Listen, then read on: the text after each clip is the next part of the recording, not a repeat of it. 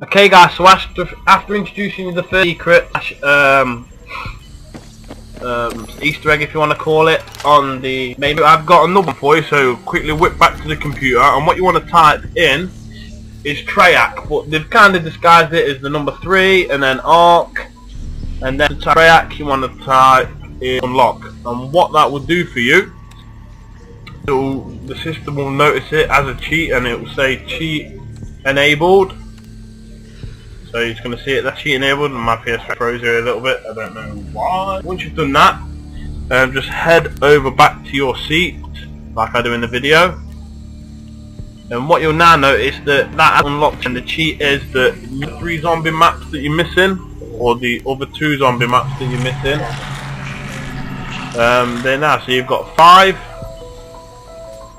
and you've got Dead Ops Arcade, and these are actually unlockable on uh, the PlayStation Network as well if obviously you have the zombie map packs. So there you go a video will be shortly of both. Subscribe rate and comment